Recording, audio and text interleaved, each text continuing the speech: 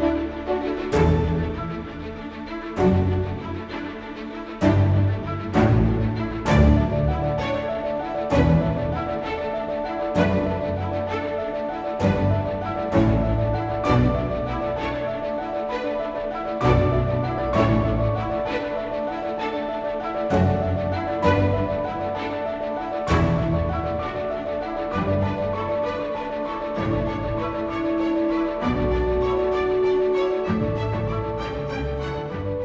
myšlenka, proč ten projekt zorganizovat, vychází z toho, že horolezectví je tradiční sport, poměrně starý a v dnešní době se všechno hrozně rychle mění. Vznikají nový odnože lezeckých sportů,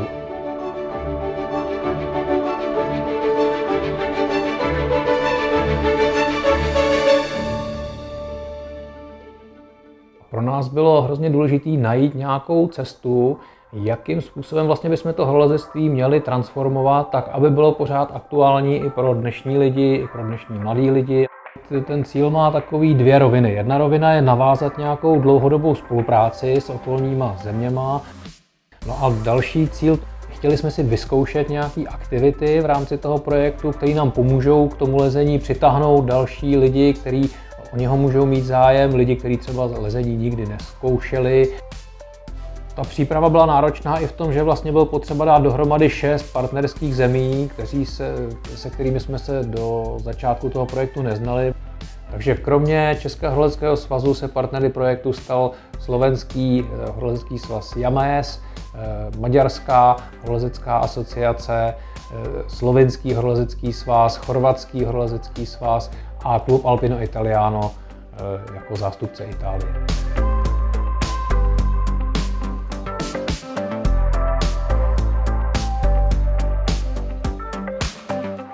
Potom ten projekt samotný začínal analýzou, kdy jsme společně s těmi partnery vůbec zkoumali, jaké problémy kdo řeší.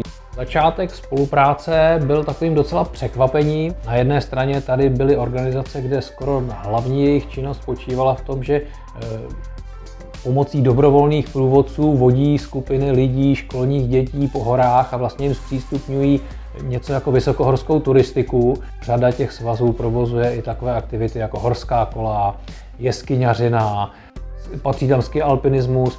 Obrovské spektrum činností, které ty svazy pokrývají, vel, velké rozdílnosti v organizační struktuře, vlastně hodně odlišné zaměření, což vlastně bylo pro nás takové jako na jedné straně velice obohacující, na druhé straně překvapení a rozhodli jsme se, že tohle budeme reflektovat v těch různých horolezeckých setkáních, kterých proběhlo pět. Tak vlastně z debaty s partnery nám vyšlo, jaká témata potřebujeme řešit. Vyšlo nám z toho takových šest témat, které jsme potom eh, řešili v rámci projektu. Udělali jsme na každé téma pracovní skupinu.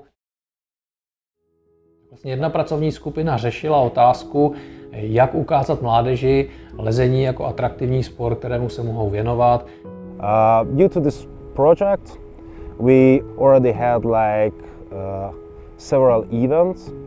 We already started a um, mobile climbing wall project in Hungary, which means that uh, schools can rent for free uh, mobile climbing walls and we help them how to use it. We teach them how to how to uh, spot the, the children climbers, which routes and how to climb.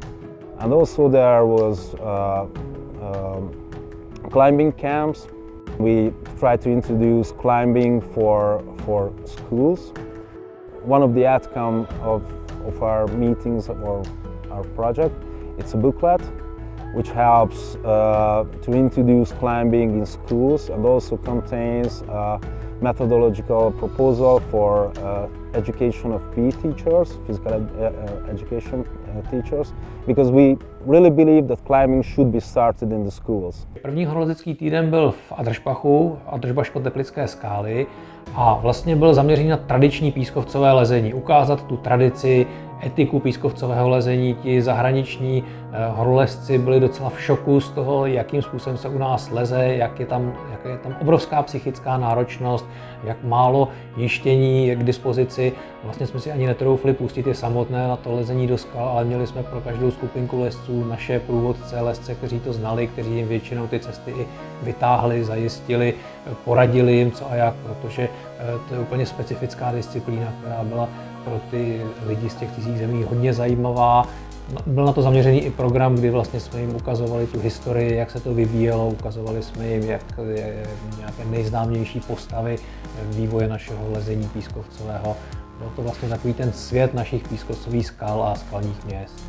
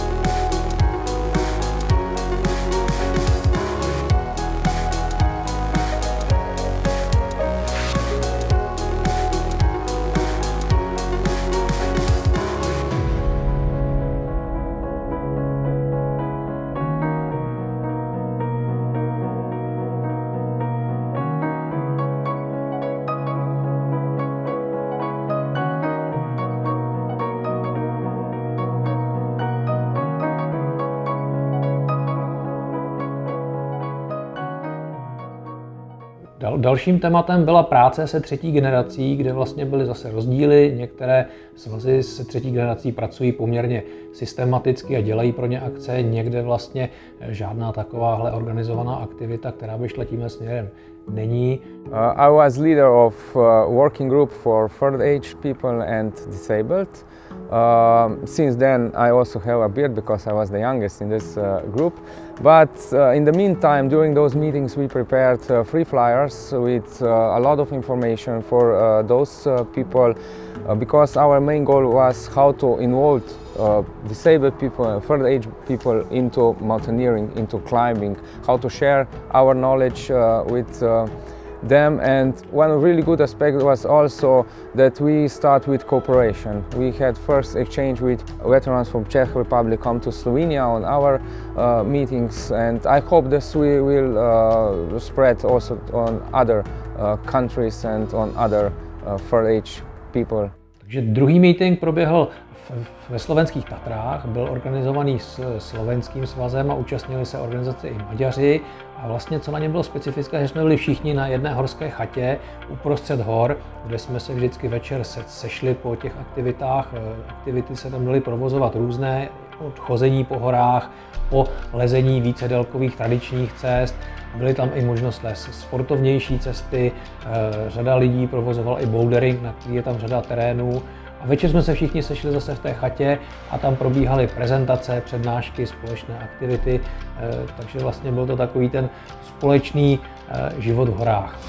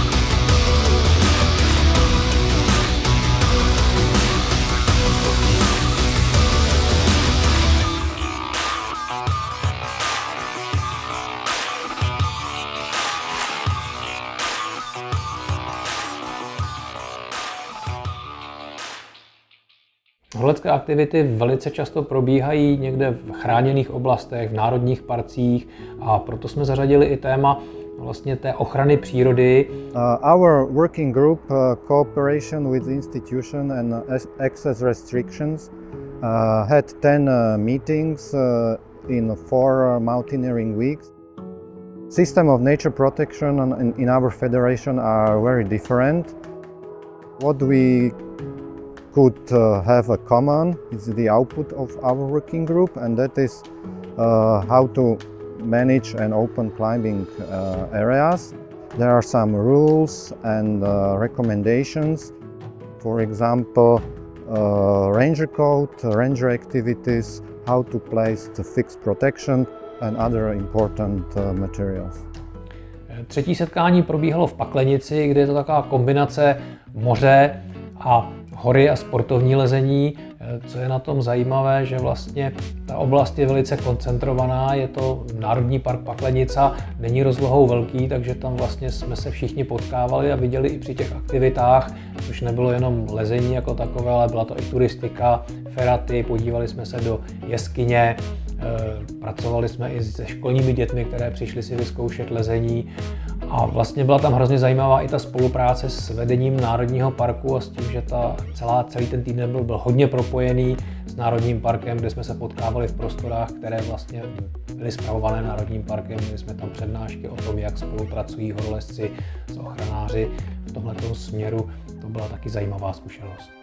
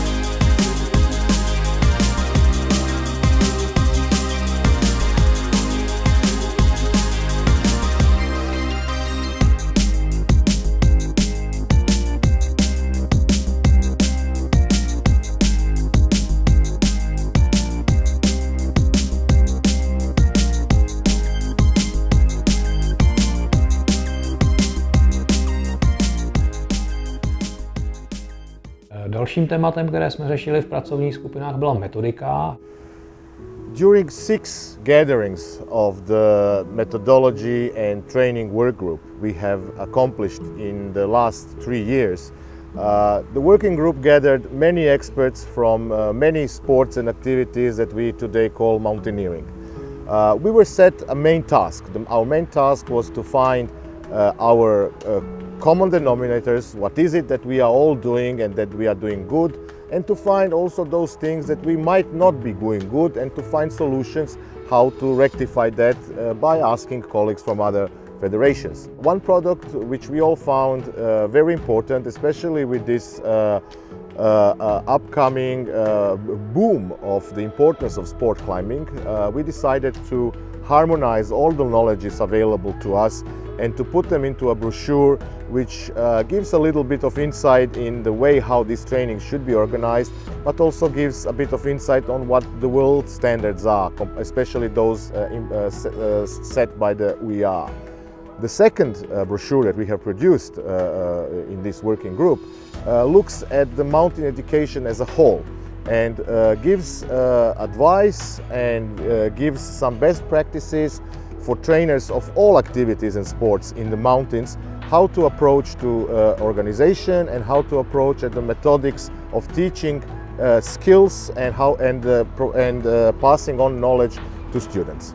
Takže čtvrtý meeting proběhl ve slovenské Planici eh, a byl vlastně zvláštní tím, že proběhl v zimě. Ta zima je vždycky dost riskantní, protože když nejsou podmínky, jsou laviny, tak je velice možné, že celý týden se bude sedět v chatě a nebude moc vůbec nikdo vyrazit do hor, což se nakonec nestalo, protože počasí nám přálo, takže jsme se mohli věnovat jak ski alpinismu, tak lezení v ledu, třeba i dry toolingu, chození po zimních horách. Ty aktivity byly velice pestré a velice se nám to vydařilo.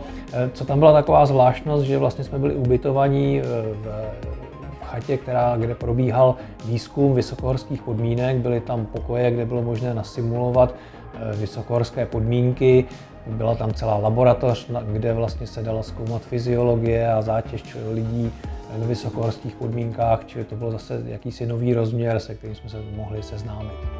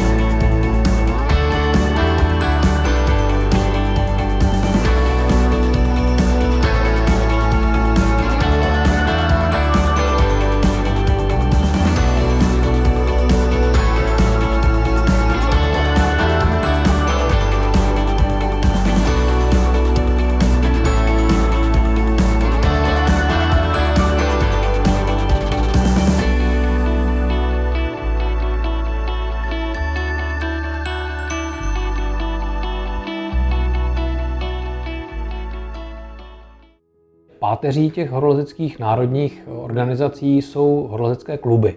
Tam vlastně probíhá nejvíc té činnosti, takže tématem, které jsme řešili, bylo i, jakým způsobem podpořit tyto kluby, jak, jak vlastně ty kluby fungují v jednotlivých zemích a hlavně jsme se snažili najít nějaké propojení mezi těmi kluby na mezinárodní úrovni. I'm, uh, I'm the leader of uh, the working group about the cooperation uh, international between the different clubs of, of this project. The, um, we, we start uh, our work examining the actual situation and uh, the, the current uh, international participation of the different federations. We prepare the list of these clubs and we we, make we made some documents about uh, the different activities, the ethics, the values, the technical rules of uh, every country. Horolecký týden proběhl v údolí Aosty v Itálii, kde vlastně obrovské spektrum aktivit, které se tam dají provozovat. Od sportovního lezení jednodélkového, vícedélkového, až po vysokohorské výstupy, kdy jsme eh, vystoupili na eh, vrcholy nad 4000 metrů ledovcové.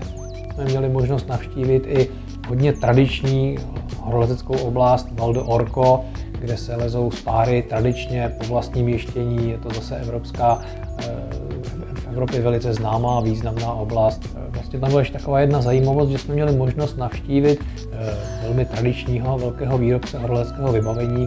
To spektrum bylo asi v té Itálii nejširší, od vysokých hor až po eh, žulové skály. No a taky to mělo takový ten nádech toho, že to byl poslední týden, všichni jsme se už navzájem znali a možná jsme si říkali, že se vidíme na takovéhle akci naposled, ale eh, na druhé straně jsme už se plánovali, kdy se kdy potkáme v nějakých menších skupinách a budeme v těch aktivitách, které nás všechny baví, pokračovat.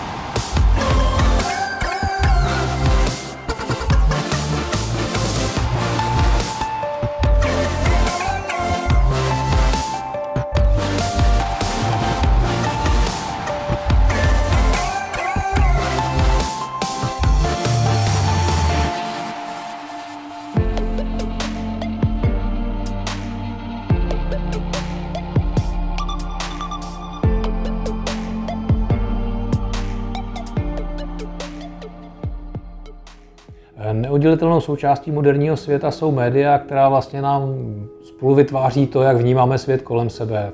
Ať už se podíváme na sociální sítě, na internet, eh, televize, tištěná média, jakákoliv forma komunikace, to je všechno, co vlastně utváří názor každého z nás a v tomhle směru jsme taky chtěli porovnat zkušenosti, jak s tím, která eh, federace pracuje, jak, tím, jak s tím ty horolecké organizace dokáží zacházet, co jim pomáhá nejlépe komunikovat jejich záměry, jakým způsobem vlastně využívají ty možnosti, které nám ta média nabízejí. Our working group uh, has a name uh, uh, Infrastructure and Communication and uh, during uh, last two years we uh, met several times together with uh, all members of this group from each country and final task was to create kind of map of uh, all communication channels which can help uh, national association to com better communicate with their members or potential members.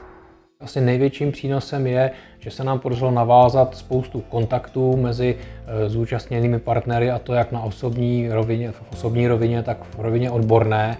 To je něco, co určitě zůstane, až ten projekt skončí, na tom budeme moct stavět další roky, protože ta spolupráce už tam rozeběhla, běží a poběží. To je něco, co si myslím, že je asi taková největší přidaná hodnota, kterou si z toho všichni odnášíme. Když se potom zamyslíme nad těmi jednotlivými tématy, tak samozřejmě eh, někde se daří eh, to téma postrkovat eh, lépe. V některých zemích třeba neběží tak, jak by se nám to líbilo jak by jsme si všichni přáli.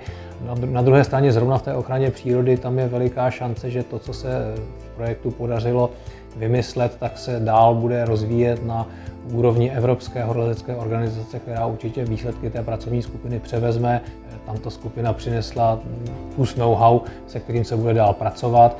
Určitě velká spolupráce, kterou plánujeme do budoucna po ukončení projektu, je eh, ve spolupráci mezi mládežnickými organizacemi, čili budeme určitě organizovat eh, mládežnické tábory v jednotlivých zemích, mládežnické kempy a chceme i eh, rozjet ve větší míře spolupráci mezi eh, sportovními mladými lesci, hlavně mezi alpinisty, kde zase se rýsuje nějaká další možnost spolupráce oblast metodiky a vzdělávání lektorů, kteří potom v těch jednotlivých zemích tu metodiku vyučují, tak zase tady je možnost je nějakým způsobem spojit síly a e, zase je posouvat, aktualizovat jejich nějaké know-how, které potom předávají dál. To je další vlastně přínos toho projektu. Otázka je, jak se nám bude dařit ta spolupráce mezi kluby. Tady v tomhle směru máme něco rozeběhnutého, ale samozřejmě tu štafetu potom musí převzít ty kluby, to už bude záležet na nich, jak se jim s tím eh, bude dařit pracovat dál.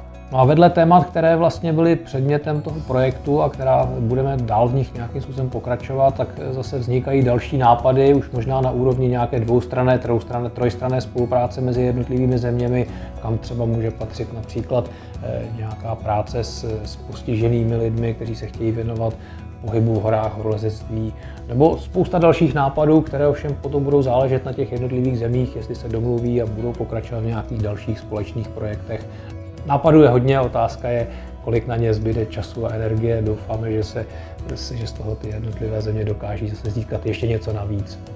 A byl bych velmi rád a hodně se těším na to, že se určitě dočkáme nějaké další spolupráce nad jinými projekty, ať už s těmi partnery, se kterými už se známe a umíme spolupracovat, tak třeba i s nějakými dalšími zeměmi, které do toho projektu přizveme.